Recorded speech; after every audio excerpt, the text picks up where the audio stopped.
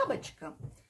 Проснулась, а вещи в комнате смотрят на меня так пристально, не мигая, расчерчивают комнату геометрией взгляда.